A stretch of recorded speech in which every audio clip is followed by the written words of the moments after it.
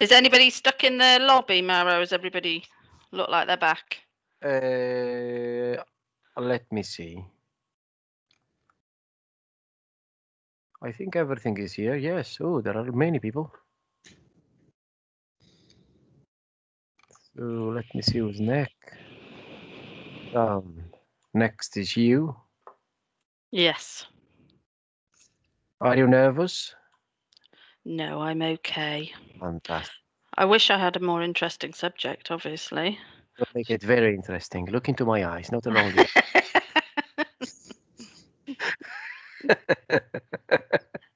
what have you learned from your book then? Fantastic. I've learned. uh, It's one minute. Okay. I've learned that hypnosis is not uh, what uh, they they say. You don't do silly things during hypnosis. You can only hypnotize yourself. The hypnotist only helps you in your achievement.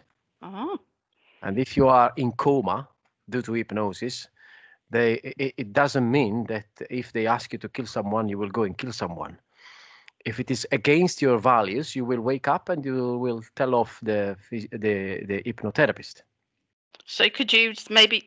Is it sort of use medical uses like to get someone on an MRI scanner and stuff? I, I Have they ever looked into it? Uh, it's yes, they have, they have. And it fails. Well, no, no, Huh? it works. It works very well. It depends by your ability to hypnotize yourself. Good morning, everyone. okay. Now you can record if you want, Mauro. I, I'm already recording, so there is. Oh, you've recorded introduction the of- of hypnosis. Okay. Hypnosis, yes, fantastic. I mean, the best in this occasion. MSK pathway and hypnosis. All right. okay, welcome back, everyone. We better start with uh, Sam, we, uh, who will give you a very important presentation. So open your ears because it's very important. IRMER training. This is vital uh, uh, for for your uh, uh, for your activity, and you will understand even more why when Paul Morgan after that will scare you off a little bit. Uh, so Sam, the podium is yours. Yeah, thank you very much. Um, hi, everybody. Um, my name's Sam Bridgemount. Um, A little bit about me. I manage the Plain Film Service at NUH, and I'm also um, the IRMA coordinator, uh, so responsible for the training of staff in uh, the IRMA regulations. Um, a small apology that um, it's this goes very back to basics, but the training is the this is training is the minimum required for all referrers at NUH and is based around the stated requirements in the IRMA regulations. Um, so here we go. Um, just a brief overview. Um, this training will allow you to refer for limited imaging at NUH. That hasn't been completely decided yet, but I will be communicating with everybody very soon with uh, uh, a new document. Um, this training is very basic radiation physics, um, some basic principles of uh, radiation protection, and a brief overview of the law. Um, principles of ionizing radiation. Um, radiation is a term used to describe the transport of energy from one location to another. Some examples of that sound uh, magnetic, light, and uh, radiation, the one we use. Um, so energy is carried by the radiation and rel- is related to how often the wave repeats itself. So if you have a long wave, you have low energy, and if you have a short wave, you have a high energy. So I don't know if you remember this from school. I do. So here's your electromagnetic spectrum. Um, the ones we are interested are on the left-hand side. Uh, these are ones that are pot- potentially harmful, but also uh, potentially beneficial in um, diagnosing um, some uh, um, information about background radiation now. So it's all around us. Um, so it's in the food we eat, for example, Brazil nuts, bananas, potatoes, red meat, carrots, beer, and water. So if you eat um, Brazil nuts, if you eat 100 grams, you're going to get 0.01 millisievert of radiation. Um, so in uh, obviously air travel, the closer to the sun, the more radiation you get. So a transatlantic flight equals um, 0.08 milligrams of, um, not milligrams, uh, millisieverts. Um, in the ground where we live, so um, so in granite rock. Um, so if you live in somewhere like Cornwall, um, you've got a, there's a higher level of uranium, so your annual dose is three times the UK um, average. And um, if you live in a place called Ramsar in Iran, um, uh, your background radiation is 250 times um, um, the average um, background radiation in this country. So as you can see on there, your average one is 2.7 millisieverts. I advise you to look up uh, Ramsar in Iran. There's lots and lots of papers about the people that live there, and it's uh, very interesting. So here's some examples of um, the imaging that we will be giving on your patients and how much uh, dose is it equivalent to. So if you have your teeth x-rayed at the dentist, it's equivalent to 1.5 days. Um, the things that we're going to provide for you, like pelvises and spines, you've got 10 days and two months, uh, or um, lumbar spines, obviously, because it's a thicker area, two to three months. Um, and obviously um, uh, CT chest abdo pelvis is up to seven years worth. So obviously the frequent flyers that we get on a regular um, occasions in ED um, um, are going to be uh, uh, glowing by the time they're finished. Um, the next slide um, this show shows a few of the more dramatic effects of radiation on humans. So, um, as I say, it's very basic here um, some genetic effects, DNA damage, etc., cancer, infertility, and so on. Uh, we as radiographers base um, how we position on patients to minimize um, the doses we would give to patients. So, for example, um, we want to avoid areas like the thyroid gland, eyes, lungs, bone marrow, and reproductive organs. So, where possible, we position the patient so they're facing away from the x ray tube. So, we would do um, a chest x ray in a, in a PA position and things like facial bones, etc. So here's a, just a slide to show the, some of the risks of the radiation um, examinations. So you've got chest X-ray um, of the risk of one in 900,000 of um, um, giving them a fatal cancer, uh, compared to a coronary angioplasty, which is one in a, uh, 1,300 some more on basic principles of radiation protection. Um, so obviously you're all aware that uh, radiation can increase the chance of getting a cancer. So uh, we need to make sure that the imaging must be justified and this is, must be done by trained individuals. Um, protection and safety should be optimized at all times. Um, it's done in many ways, uh, positioning of the patient, buying new um, newer kit, um, ensuring that the lower dose, um, that the, the, equipment is optimized. Um, we have well-trained staff, including um, any referrers. And then dose should not exceed specific dose limits. The UK government has produced national dose reference levels um, and then NUH produces local versions of these. Um, we compare one with the other, and if lo uh, our local um, diagnostic reference levels exceed those set by the government, the department would consider uh, replacing the kit. So I'm afraid this is just a slide that you need to read. Um, the use of ionizing radiation for medical purposes is regulated by law all healthcare professionals whose work involve the use of ionizing radiations are required by law to be familiar with the relevant regulations, and these are um, were bought, uh, changed and brought out again in 2017. Um, so what does IRMA stand for? It stands for the Ionizing Radiations Medical Exposure Regulations. Um, um, these are now European wide. Um, the compliance for these regulations inspected by the Care Quality Commission, and this is inclusive of the training of referrers. So anything we do today, we would document everything that we've taught you. So um, in, in, case we are asked, so we are um, all of your interface providers, please could you also um, uh, document these things? Um, if we have any radiation incidents, uh, which we do have at NUH because uh, we're all human and make mistakes, um, these needs, uh, if they're of a high dose, they will be reported to the CQC. Um, uh, specifically, if we do the wrong patient, it is always reportable, and also if there's dose considerably higher than intended. Um, so we get inspected and they and the CQC and HSE have power to initiate prosecution um, in case of flagrant contravention of regulations. So we want to avoid this.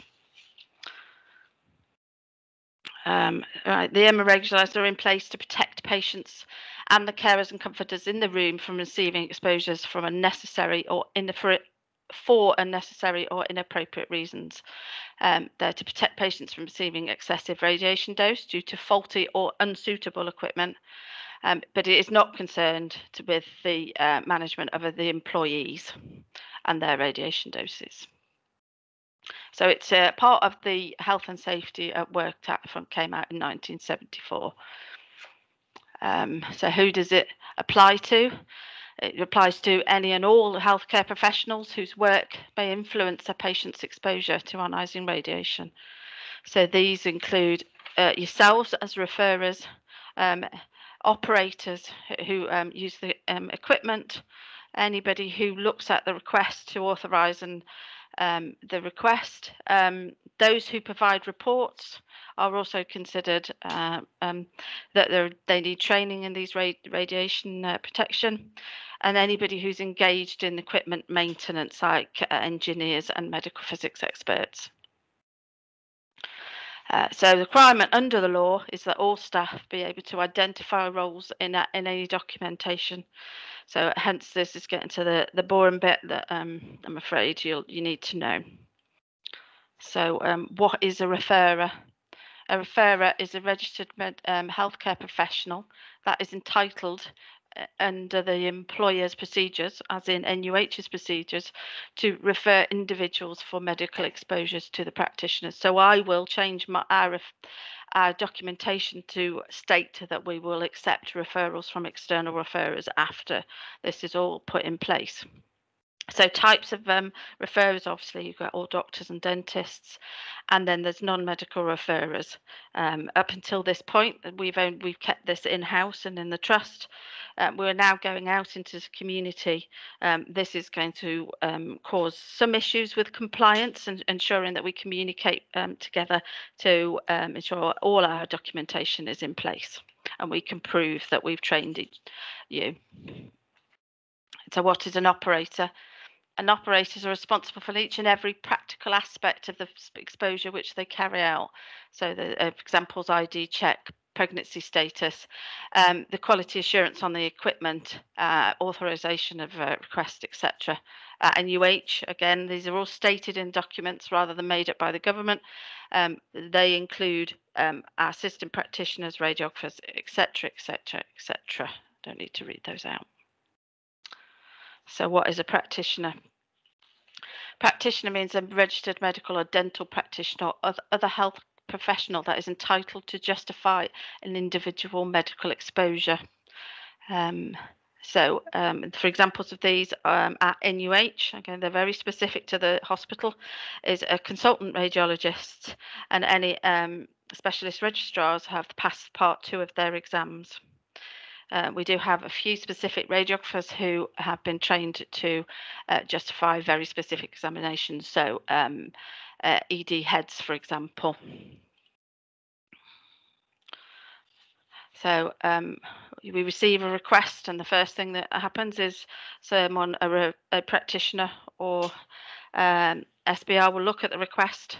Oh, I forgot to add that um, radiographers can also um, look at requests, but only because um, documentation has been written, so called authorization guidelines, which they follow when they look at requests.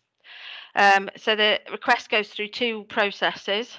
So it's a first of all, it goes through justification, um, so this is a mental process where, um, say, Mauro would look at it and um, weigh up the potential benefit of the medical exposure against uh, the detriment to the individual.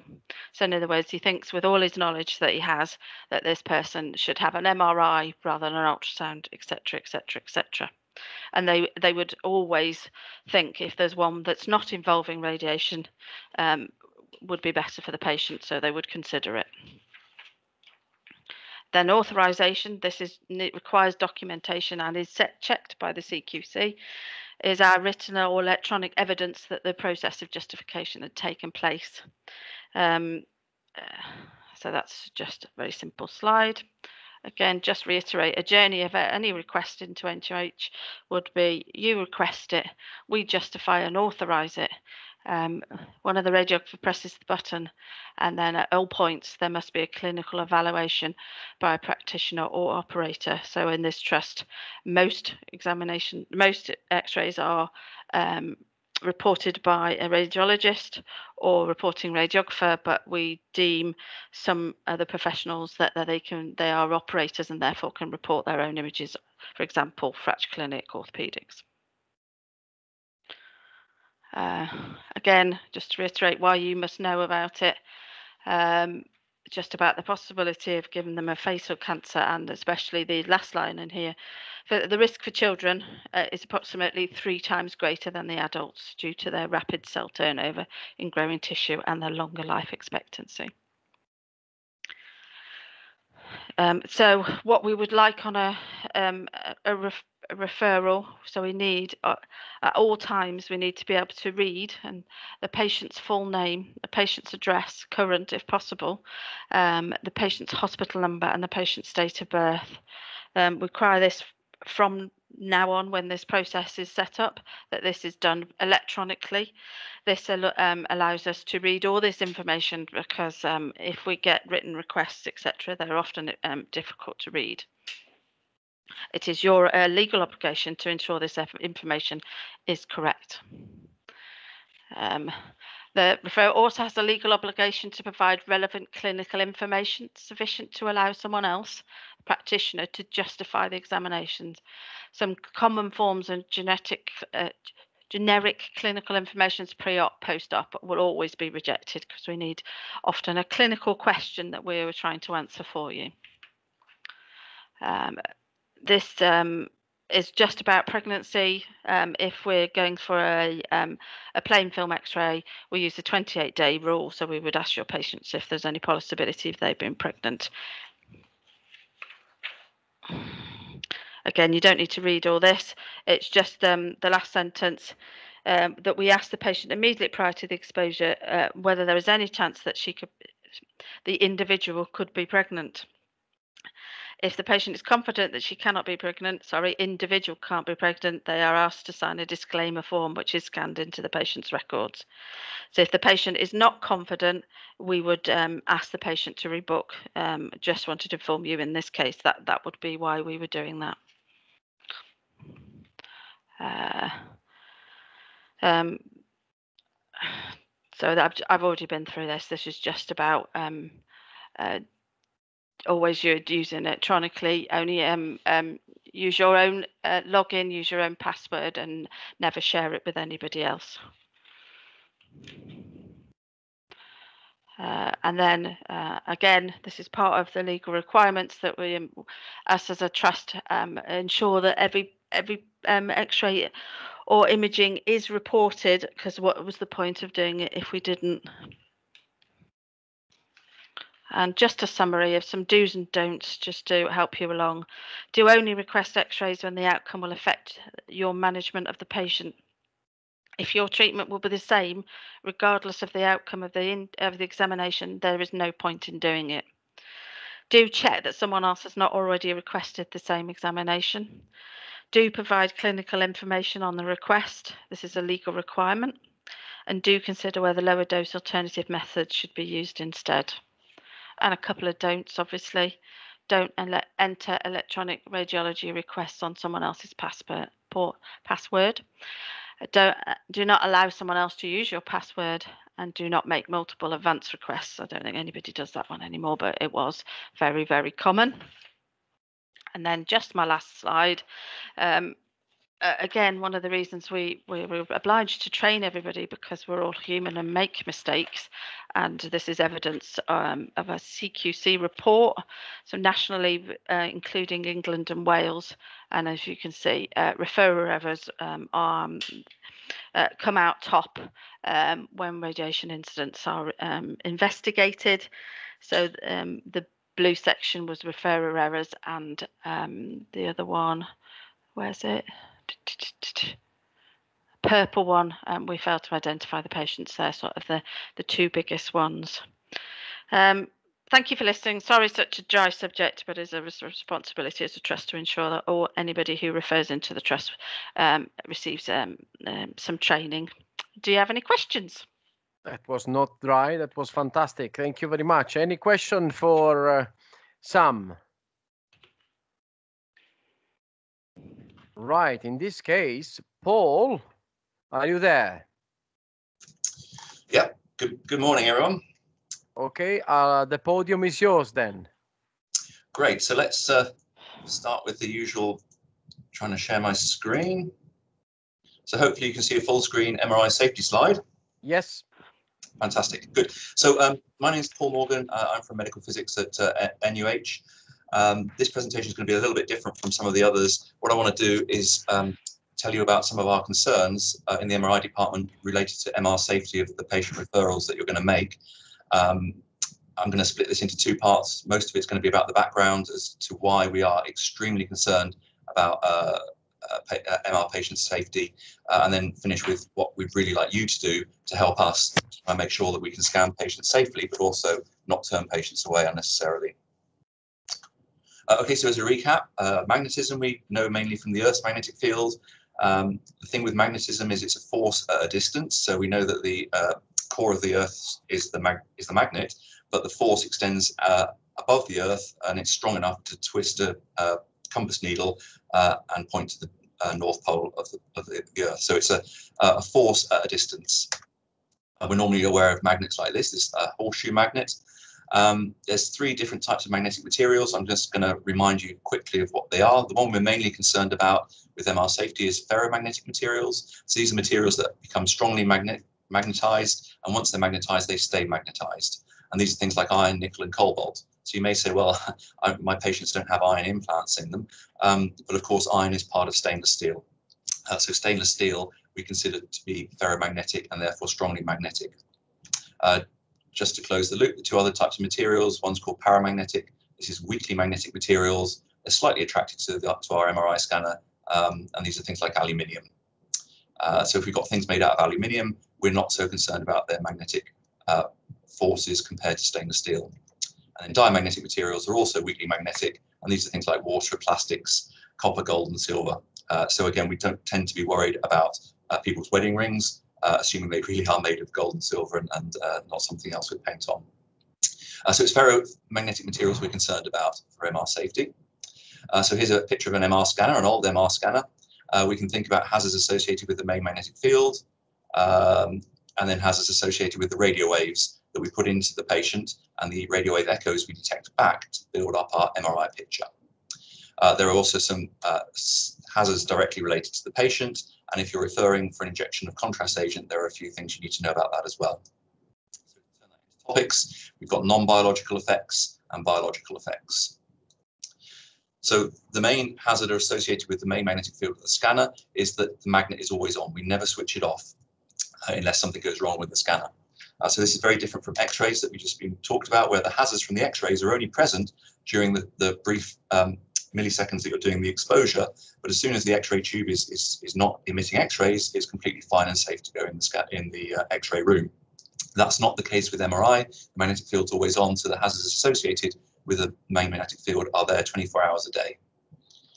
Uh, so the main concern is there's something called the projectile effect. So this is when uh, someone uh, goes into the MR scanner room with some ferrous material, so stainless steel, uh, either holding it or as part of an implant inside them, uh, and that becomes magnetized and it becomes attracted to the magnet. And as the person or the object goes closer to the scanner, the forces become stronger uh, and it can become strong enough to uh, pull the object out of your hand and turn it into a projectile flying into the middle of the scanner, which of course is where your patient would also be. We're also concerned about the main magnetic field interfering with electronics and in particular pacemakers, although there are other uh, implants now that are becoming popular that have electronics in as well. And we're also concerned about smaller metallic fragments in soft tissues. Um, so think of things about the size of a compass needle. Uh, it's in a soft tissue, uh, and as the person uh, goes into the scanner, the compass needle effectively twists and turns to align with the uh, scanner's magnetic field, and that can cause localized tearing and bleeding. So we're concerned about metal fragments, particularly in the eye, and people with aneurysm clips, for example. Um, here are some examples of projectiles. Uh, the image on the left is chair that's been pulled off the floor into the scanner, and the image on the right is a floor buffing machine that again has been pulled off the floor just from the strength of, of the scanner. Uh, so from our point of view, you think, well, that's obvious. You don't take these sort of things into a scanner room. Uh, the image on the left could be um, a child that's being scanned, no metal on the child. Uh, child's a bit anxious. Uh, can mum go in the scanner room? Uh, yeah, that's fine. There's uh, no metal on mum. That's fine. Mum says, how long is the scan going to be? Oh, it's going to be about uh, half an hour. Oh, can I have a chair to sit down on? And whoops, accidentally, the chair's gone into the scanner room. And of course, it doesn't look like stainless steel. It looks like plastic, but we know underneath the covers that it's stainless steel. Okay, so we should get a video uh, here. It may take a little while to start. So this is a, a cylinder, and we're very concerned about oxygen cylinders, particularly anesthetized patients. Uh, this is a 1.5 Tesla scanner, the same magnetic field strength as a lot of the scanners in, in NUH. Uh, and at this distance away from the scanner, gravity is holding uh, the, the uh, cylinder onto the table, but as the person pushes the table closer to the scanner into a stronger magnetic field, the force of the magnetic field is strong enough to attract um, uh, the bottle into the scanner. So it often takes a little while before the video starts.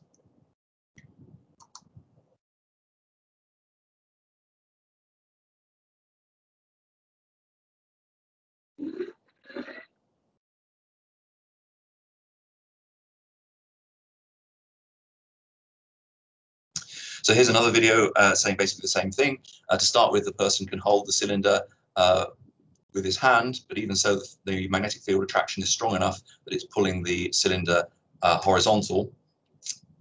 Again, this is a 1.5 Tesla scanner.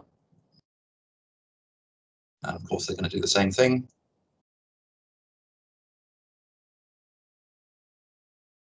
So the thing to watch here is how quickly it goes from being uh, gravity holding it onto the bed to it turning into a projectile.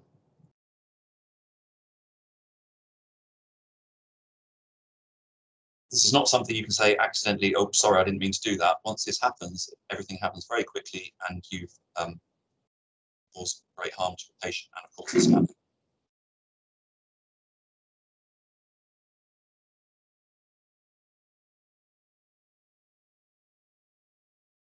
Slightly dramatic uh, sound effects there. But of course, the issue is uh, this is now an ongoing incident. The magnetic field is still on. It's on all the time. Uh, so if this cylinder is crushing our patient, we can't get it out.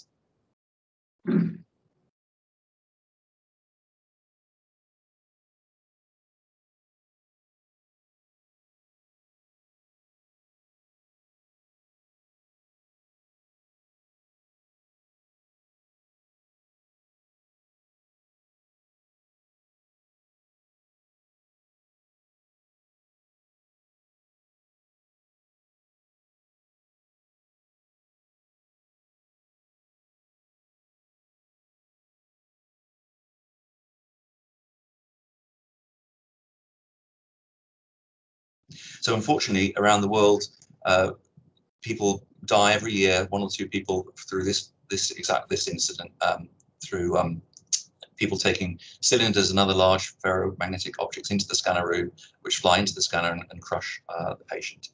Um, and I'd also like to, you to reflect this is very different from the uh, X-ray uh, hazards and risks that you've just been described to you, um, if we get it wrong in MRI, it's a very binary hazard. It's either completely safe or we've killed someone. This is not giving uh, an increased risk of getting cancer in 20 years to our patient from having a repeat chest x-ray exposure.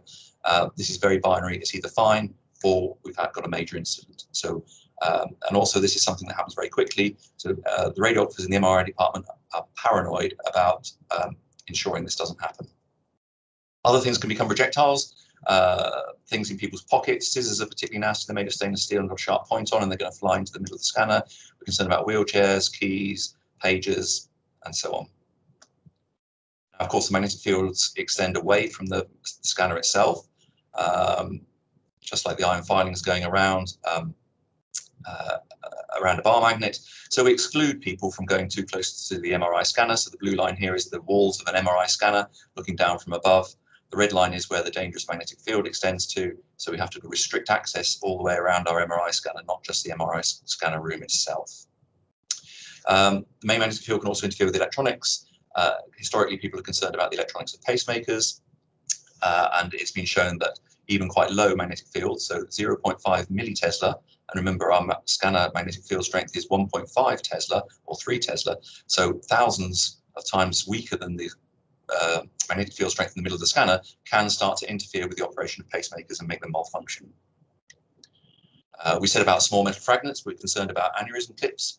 For example, the magnetic field is not going to be strong enough to rip this aneurysm clip out of, drag it through the brain, but if it twists it like a compass needle trying to align with the scanner's magnetic field, it could rupture the aneurysm clip. We're also concerned about metal in the eyes. This is a shotgun uh, pellet uh, or also shards from people who may have worked in uh, welding shops Uh, uh, and uh, got metal fragments in their eyes. Uh, so if we're unsure, we would refer the patient for a, an x-ray to check whether they have metal in their eyes or not. Um, now, of course, when you're referring and the patient's in front of you, people will often say, will often be thinking, oh, yeah, I had something in my eye, but it was 30 years ago and it's never caused a problem. It's been fine. You know, we're concerned about that because we know the metal hasn't actually gone away. It hasn't got better. The metal is still there and can still be causing a hazard. Uh, so here's a radiographer's nightmare, someone scanning someone with metal in their eyes. And here's a picture, this is not in Nottingham. This is a picture of uh, someone who went in for an MRI scan, um, did not disclose they had metal in their eye. Uh, they came out of the MRI scan and said my eyesight's gone a bit funny, uh, it's all gone a bit blurry, and it turned out that the metal fragment has uh, been um, torn this path uh, across through the eye. So again, we're very paranoid and concerned about this. Uh, this isn't a, a, binary, oh well, you know, we're increasing the percentage risk of cancer across the whole population. This is very much, if we get it wrong, it happens to this patient today. Uh, so things we're not so worried about are fillings, um, these uh, are all safe. If people can take them out, we would rather they do take them out, but they're safe to go in the MR scanner. Uh, however, they can cause problems with the images. This is a sagittal brain scan, and in particular, you can see this person's mouth and tongue. Uh, and this is a scan, a sagittal scan of someone who's got dentures, and you can see that uh, the dentures has wiped out the signal from around the mouth.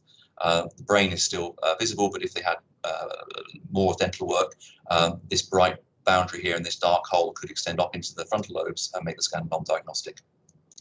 Uh, and of course, uh, going down into the neck, this bright ring here is an artifact from, uh, from fillings, making the scan non-diagnostic. Uh, things that are screwed into, into bones, uh, the magnetic field is not strong enough to cause, cause a problem, but it can cause uh, an image artifact on, on this knee scan here, again, potentially meaning that the scan is undiagnostic. So we want to know about things in, in the patient. Um, other hazard, hazard, uh, hassles.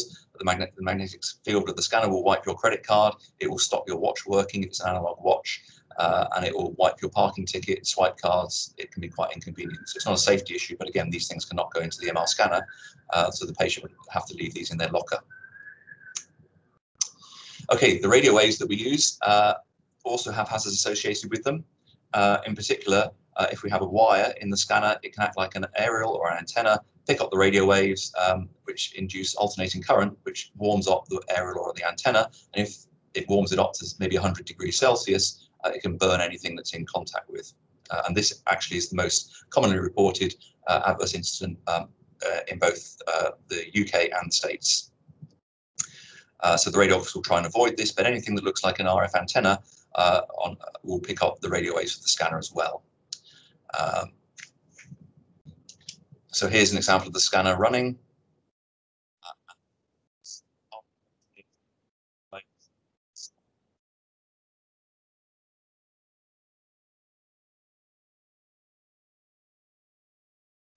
Oh, we've lost you, Paul. Oh, yeah, Paul, we have lost you a little bit. Is your microphone okay? Uh, so we're concerned about this, very concerned about this. Here are some examples of uh, skin burns uh, from the literature. You can see this is of a, a, child here, and it often happens when people are under general anaesthetic and they can't report uh, that they're getting um, uh, they're getting warm. and unfortunately, we have had an incident uh, in Nottingham many years ago um, that was uh, severe enough that the patient had to have a reconstructive surgery. So this does happen. Um, particularly nasty case from Israel, uh, where a, a, baby came down for a scan. Uh, the, there was a, a, a non-MR compatible uh, pulse oximeter uh, under a bandage, which wasn't spotted. And after the scan, uh, they've realized that it caused a horrendous burn, leading to amputation. So again, this is very binary. If we get it right, if this pulse oximeter was an MR compatible one, uh, this wouldn't have happened. Uh, it could look exactly the same as an MR unsafe one. Um, so it's a very binary, we either get it right or we get it horrendously wrong. Uh, so with RF fields, again, back to our pacemaker, we said the main magnetic field can interfere with the pacemaker base, but we're also concerned about the pacing wires, which act, look like an aerial to me, look like an antenna, and these can pick up radio waves and cause uh, sparking um, and misfiring part uh, of the tips. Of course, there's not just pacemakers, there are things, vagus nerve stimulators. From my point of view, this is just like a pacemaker. It's got a basic unit and it's got a wire which can pick up the radio waves and stimulate the nerve um, erroneously. deep brain stimulators, again, uh, wires going into very sensitive, eloquent parts of the brain. Um, if these pick up the radio waves and start to cause burns at the tip, um, this can be um, extremely uh, dangerous for the patient. And here's an example uh, of an MR scan showing uh, an infarct around the tip of a, a, a DBS wire uh, in a patient from the States. Um, and again, that will be a life-changing um, injury for the patient. Uh, so the radiographers are very good at uh, uh, dealing with ECGs, making sure the wires are away from the skins to, to reduce the, the risk of burns. Uh, all about tattoos? We're not concerned about tattoos like this, but we do want to know if people have extensive uh, body art. Uh, so these sort of people would not be compatible for an MR scan, uh, even if this person could take all the metalwork out, which is probably going to be steel, so ferrous material. Um, there's enough continuous tattoos. This could act like a joined up antenna or aerial uh, and heat up. Uh, we're more concerned about this sort of body art. It probably wasn't put in in a, in a regulated tattoo parlor. she probably doesn't know what material was used to put in here. Uh, and often if you want a red color, you could use iron oxide rusty color, um, which of course uh, is a ferrous material. Uh, there are very few cases of uh, burns uh, around uh, tattoos, but here's an example of erythema around a new tattoo. It's very rare, and I would pretend, potentially argue that you know the diagnostic information outweighs um, a, bit of erythema in this case. so we do want we do warn patients that they should alert us if their tattoos start to warm up.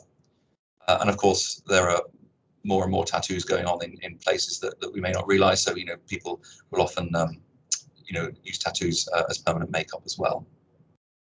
So that's not a contraindication for a scan, but we'd like to know about it. Um, the radio waves also depend on the body part that we're imaging. So the lower left, we're imaging someone's head. The middle, we're imaging someone's chest. And in the lower right, we're imaging someone's knee.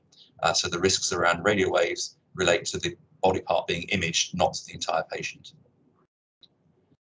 Um, so what about the main magnetic field effect on humans? So in animals, uh, they've done experiments up to at least 45 Tesla, which is over 10 times our maximum magnetic field strength in clinical scanners, and there's been no permanent effect uh, observed. Uh, there are some temporary effects in humans. Some people feel a little bit nauseous or vertigo, uh, and this is probably to do with magnetizing the water in the balance uh, areas of your uh, inner ear and some people with fillings report metal tastes. But these are temporary effects. So in, if a patient uh, asks you, um, they're concerned about the effects of magnetic fields from when you're referring for an MR scan, there are scientifically there are no um, interactions from the magnetic field on biological systems. Um, and the limit is up to at least 8 Tesla uh, in the States, uh, and, and, again, the highest uh, magnetic field strength in NUH is 3 Tesla. Uh, there are some issues with claustrophobia. Uh, to make the strong magnetic field, it's got to be, uh, the person has to go into a tunnel. Uh, traditionally, they were 60 centimeters in diameter, and with a table underneath, the uh, AP direction is, is smaller. Uh, manufacturers try and sell you scanners with pictures like this, whereas often we see um, things that look a little bit more like this. So there can be claustrophobic experience. However, from July onwards, all of the MR scanners in Nottingham will no longer be 60 centimeter internal diameter, but they will be 70 centimeter internal diameter, which means may not sound like much, but it means it's all the way around the bore. So it's a much wider bore scanner, and also the table can go lower down. Uh, so we can um, usually accommodate the larger patient as well as the claustrophobic patient. Uh, the scanner is noisy, uh, I'm afraid, and unfortunately to speed up the scanner, uh, the, the, downside is the faster the scan, the noisier it is. So um, everyone, patients will uh, wear ear protection, uh, ideally both earplugs and plastic ear defenders. Uh, okay, um, the radio waves can heat up uh, the patient slightly as well. Radio waves are next to microwaves on the uh, electromagnetic spectrum, and although radio waves are far less efficient than microwaves, they can still heat up tissue a little bit. Um, so the, the, scan, the patient can feel a bit warm. Um, however, the scanner is, is limited to make sure that we cannot warm the patient up uh, by more than uh, one degree Celsius. Um, so they may feel a bit warm, but that's that's very well regulated and controlled by the scanners and by international um, committees. Uh, so how do we know if an implant is safe or not to go into the scanner?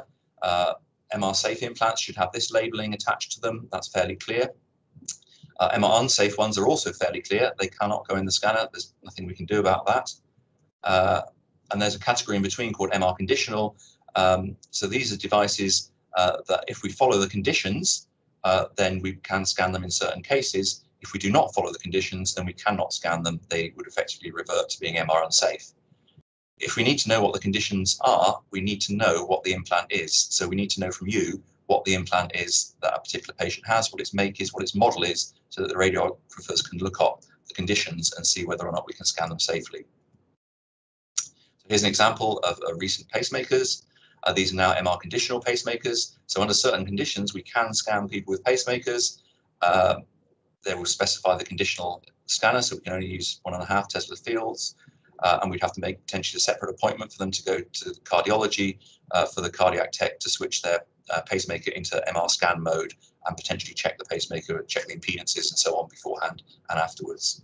Um, so we can't have patients turning up with uh, what they may be thinking are MR safe pacemakers. This still needs to be flagged up to us in advance so we can actually check the make and model of the pacemaker and check what the specific conditions are because each make and model has different conditions associated with it. So we need to know exactly what it is they've got. You want to know which implants are safe, uh, a good resource is this free website, mrisafety.com. Um, the radiographers will deal with all, with all of this, but if you're interested, you can have a look. It's got two main sections. One's called the list, and this is if you know specifically what the implant is, what its make and model is, whether it's a Medtronic model 7700, for example. Uh, if you don't know what the make or model is and you want to know about safety information in general, um, there's something called safety information topics that'll tell you about what are the MR safety issues about breast tissue expanders and implants, for example, uh, cochlear implants, cardiac pacemakers, and so on. And it'll give you general advice as to what's going on. So, for example, if someone's got a coronary stent, um, can we scan them? Uh, so first thing is we might be concerned about the main magnetic field pulling them. They're quite small. The forces will be weak, but we still like to know how long they were put in to make sure they're fibrosed into place. We want to know which body parts being imaged. Uh, are we imaging the head and or the chest? or are we imaging the knee, which is further away from where the, um, the stent will be? Uh, and then we can look up on that MRIsafety.com website. We don't know the make and model, so we'll look up coronary artery stents in general, read the blurb, and it says it's fine to scan them. So that's the sort of thought process we go through. There are other concerns with cochlear implants. I'm going to skip through this. Uh, the radiographers are experts at going through the whole range of implants, but we do need to know what it is that uh, the patient has in them to enable them to, to be scanned. And these, a lot of that information is not stuff that can be found uh, in five minutes when the patient turns up just before the scan. Pregnancies, so there's no clear evidence in humans of any adverse effects. Um, however, we will reduce, slow down the scanner for uh, imaging pregnant patients. Uh, however, bear in mind uh, there's no ionizing radiation involved with uh, MRI, so MRI is still a preferable uh, diagnostic exam compared to X-ray imaging or CT for pregnant patients uh, in fact, is, is a great um, scan to be used for looking for fetal abnormalities. Uh, giving contrast agents, MR contrast agents are normally much better tolerated than CT or X-ray contrast agents, uh, but there is a very rare condition, nephrogenic systemic fibrosis, NSF, uh, which, which causes this sort of fibrosis on people, and it's uh, been linked to MR contrast agents.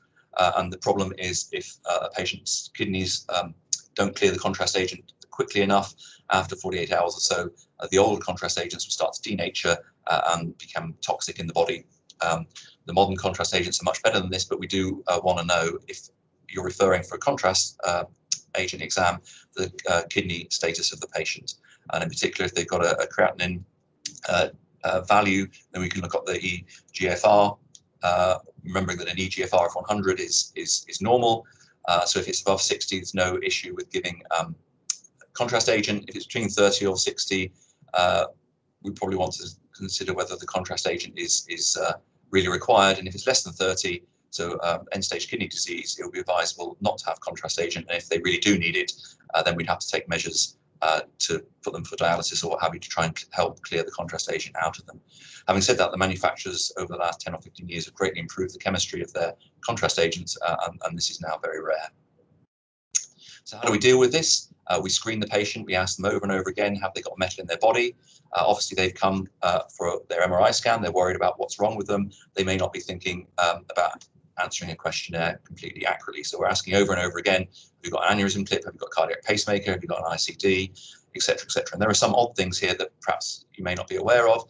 Uh, so there are things like people who've, who've, maybe had a stroke or a droopy eyelid may have a, uh, an eyelid spring or a wire to keep their eyelid open. That's probably stainless steel. Um, some hair extensions uh, and hair weaves can have metal in. Um, some sports clothing now has uh, silver metal strips in, which is supposed to be uh, stop antibacterial. Uh, these can cause skin burns. Uh, there are um, pill cams that certain patients can swallow. These are very dangerous for MR. So if the patient hasn't passed the, the, the, pill cam out that's been taking photos as it's been transiting through them, that, that can cause risks. Um, people may have body piercings that they can't take out. They may have body piercings in, in uh, private places that they, they don't want to tell us about and they lie about it. Uh, so we really do need to sort of quiz the patient. Uh, this is the one that we use in Nottingham. We'll come on to this a bit later. Uh, notice that we're asking, do you have or have you ever had, which means we're concerned about people who may have had heart surgery, uh, they had um, pacing wires put in temporarily. They don't not have a pacemaker anymore, but the pacing wires may still be there and they can still act as antenna uh, and heat up. So just to finish, when uh, you're referring, obviously you're thinking about the patient. The patient doesn't know what to expect from the MR scan. They may have been told the wrong information, that the scanner is claustrophobic, it's noisy, it's terrible. Uh, they may have seen a TV program, read some stuff on the internet about how awful it is. Um, uh, and this obviously doesn't help someone who may even be a little bit claustrophobia, claustrophobic when they come for the scan. Um, however, as I've said, from July onwards, all of our scanners uh, in NUH will be the uh, newer, wider bore scanners. Uh, they're also shorter and they've got um, the manufacturers have invested in, in lighting to try and make them less claustrophobic. This is one of our scanners at the City Hospital. This is our new scanner uh, at the QMC uh, site as well. And again, it's, it's, it's open, it's spacious. Yes, they still, still have to go into a tunnel, but we've got videos, uh, movies that people can watch. Uh, and we've, we've done the best we can to try and make it less claustrophobic.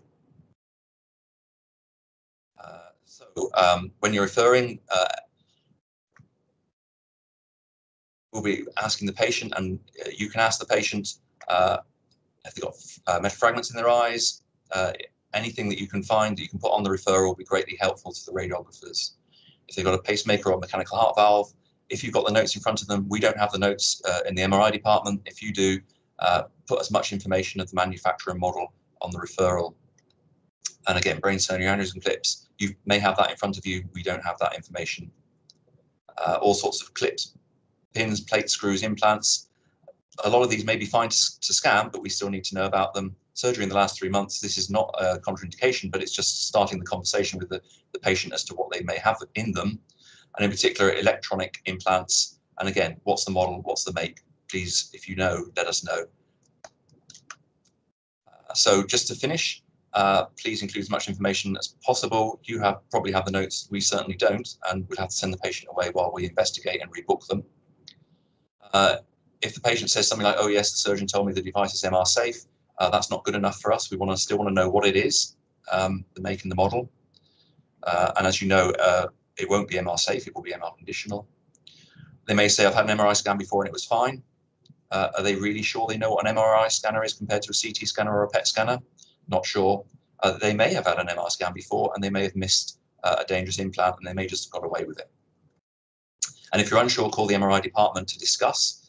Uh, you don't have to do all this detective work yourself, but start the conversation sooner rather than later so we don't waste the appointment and have to send the patient away.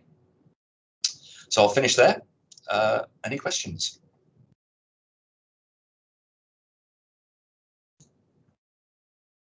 Well, I told, told sorry. sorry. Yes, yes I, told I told, you, it, it would uh, uh scare you off. You off. I should have said graphic, graphic content. content. Thank you very, Thank much. very much. And uh, uh, last on the list is Yuri Arlachov, which will uh, uh, tell you about the spinal referral. Yuri, the podium is yours. Uh, thank you. Thank you, Mauro. Let me just start sharing the screen. Uh, good morning, everybody. Can you hear me? Yes. Good.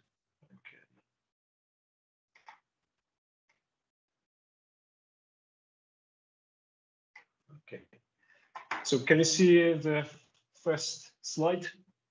Yes. Good. Uh, so today I'm going to talk about the uh, new pathway, which hasn't been approved yet by CCG, but hopefully it will be in the future. Something which the uh, GP or non-medical referrer should be aware. And this is uh, uh, regarding the spinal radiogram, how we're going to vet and if we're going to accept and what we're going to recommend. So uh, just a bit of background, So in the past, as you know, that uh, the diagnosis was reached by medics predominantly based on the clinical examinations, including the history taking and, and examination itself. And the radiographs uh, or any imaging modalities were not the main tools which were utilized. However, currently, the clinical skills perhaps uh, not as robust as used to be. There is increased uh, workload, less time per patient, and uh, the radiology and imaging is at the forefront of diagnosis making, or just in order to reach diagnosis, uh, images are required in most cases. And uh, obviously, the, for the last couple of decades, the new modalities appeared uh, in arsenal, including the CT, MRI, and PET scan, and so on.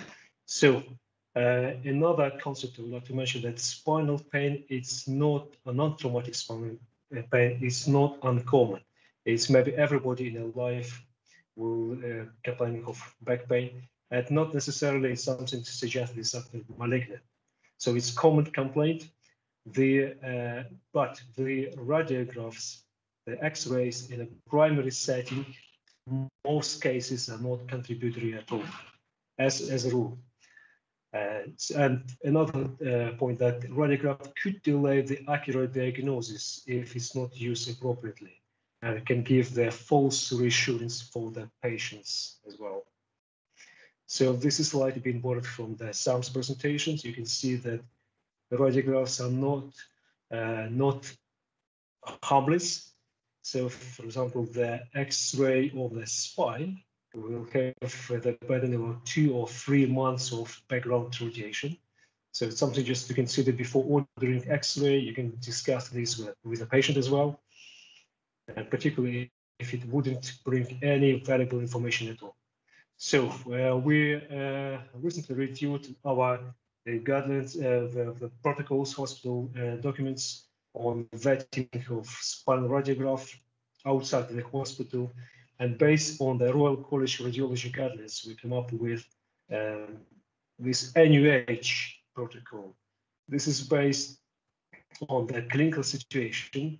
You could come across and again, and each modality which could be used, which one there will be the modality of choice. For instance, if you have a look at um, somebody presented with neck pain and there are some neurological deficit, you can see X-ray is not indicated at all, uh, particularly in the primary settings. The modality of choice will be MRI, maybe CT if the patient is going to the surgical route and they want to know the osseous structures. And uh, the same applies to the thoracic spine, for example, or lumbar spine without trauma. And uh, so if there is some doubts, obviously uh, it needs to be just look at it in each individual case. We could recommend X-ray, but in very rare cases. So to summarize, the X-ray spinal radiograph is indicated at GP or primary care setting only with somebody presenting with back pain and if the clinician suspects there is a vertebral fracture, most likely just fragility or supporting fracture, or there is suspicious for seronegative spondyloarthropathy such as sacroiliitis, so it's still in indicated. Otherwise, X-ray is not appropriate test. So we go to the uh, this algorithm where the uh, vetting clinician or the radiographer will be following the spinal pain, will certify it in the region, if neck pain or lumbar thoracic spine. And again, if it's neck pain, it will be declined and MRI and with specialist referral will be suggested. If the thoracolumbar spine, again, if the cavity osteoporotic fracture, yes, it will be accepted and vetted and performed. If there any other pain, particularly the red flag symptoms uh, or cavity malignancy, that will be declined because it's not sensitive test. And with a request, obviously the MSK consultant and we'll have a look at each individual case. So another topic to mention about the low back pain and sciatica NICE Okay, so think about always about the alternative diagnosis. We are losing Uh, you, Yuri. Somebody with non-specific like uh, Yuri, your microphone is going on and off. Okay, can you hear me now? Uh, sort of better. Let's try again. No, still on and off. Hmm. Okay.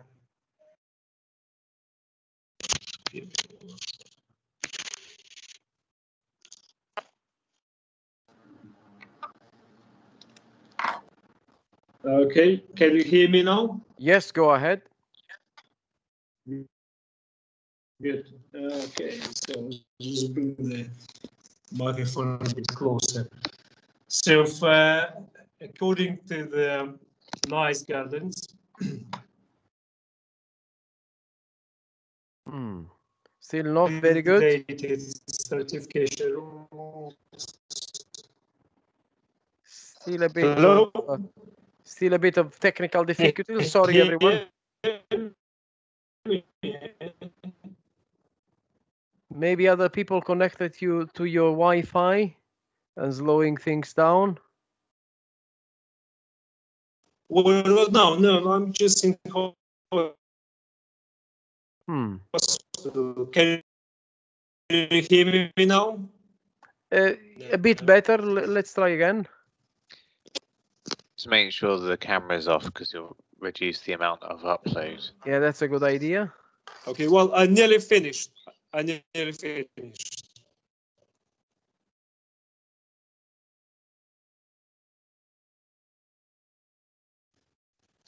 Hello, can you hear Yeah. me? Yeah, that's better. Yes. Uh, Okay. Right, so this is a last slide as well, just to mention that uh, very important to just to exclude red flag symptoms and ten, uh, the they are cancer, infection, trauma, inflammatory spinal disease, spondyloarthritis, and if you suspect, in that case, MRI scan is indicated, not not routinely. Okay, so that's just to summarize it. MRI scan for spine is indicated only when there is alternative diagnosis or if in a specialist setting, uh, such as musculoskeletal interface clinic, and the patient is going to the surgical route, that uh, will be indicated as well. Otherwise, it's not going to change management in most cases. Do you have any questions? Any question for Yuri? Okay, four minutes ahead of schedule. Thank you very much, everyone, for participating to this MSK pathway and safety training. This has hopefully increased the compliance uh, uh, uh, to our new reporting convention and has unlocked the referring rights for many of our referrers. The entire training has been recorded for future reference and for anyone who has not been able to attend. Now, please fill in your evaluation form, but this will be sent to each of you by some. And once we receive your evaluation form, uh, you will receive your well-deserved certificate. Hope you enjoyed uh, this half-day training, and uh, if there are no other questions, have a lovely rest of the day, everyone. Yes, uh, uh, the recording can be sent to you. Let me stop recording first.